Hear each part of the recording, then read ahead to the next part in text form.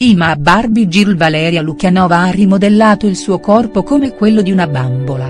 Sono tutta naturale a parte le tette, dice. Ma ha anche detto di essere respiratoriana e di poter vivere di aria e luce senza mangiare né bere video. La Barbie Girl Valeria Lukianova è tornata sulla scena dopo sei mesi, mostrando il suo nuovo look da bambola sexy in un servizio fotografico dedicato alla primavera. La 29enne modella ucraina si è fatta fotografare con un corpo più muscoloso e nuovi vestiti, sempre più striminziti e provocanti. Verso la fine dell'anno scorso, Valeria aveva annunciato di essere stanca della sua magrezza, manifestando l'intenzione di andare in palestra per rafforzare i muscoli ed assomigliare ad un Amazon. La modella, che dice di essere tutta naturale eccetto che per le tette, sembra essersi ripresa dopo la brutta avventura dello scorso novembre.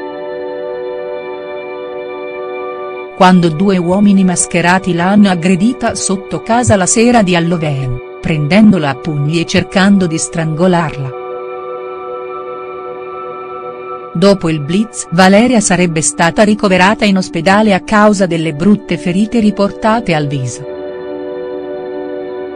Ma c'è chi dice che la storia è tutta una copertura, e che in realtà Valeria si sarebbe sottoposta ad un intervento di chirurgia estetica, smentito dalla modella.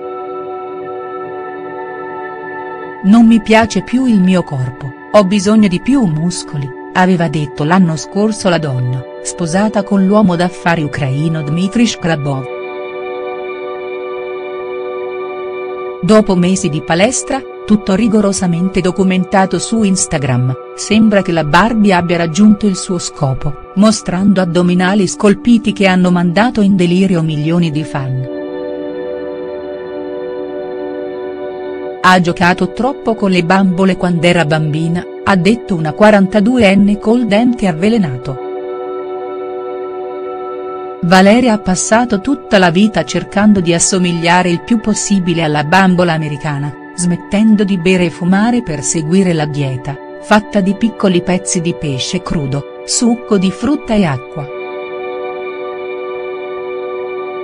L'anno scorso la modella ha presentato il suo stile di vita respiratorio, secondo cui il cibo, ma forse anche l'acqua, non sono necessari per vivere.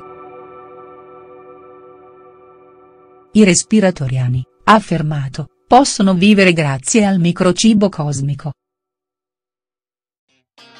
Nelle ultime settimane non ho avuto fame per niente ha detto Valeria spero che questo sia l'ultimo passo prima di iniziare a vivere solamente di aria luce.